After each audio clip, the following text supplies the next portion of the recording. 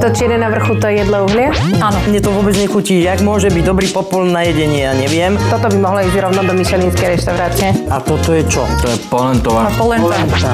Rezeň, šalát, to je žrádlo. Vínko chutí? To mi chutí, ale moc nie, ale...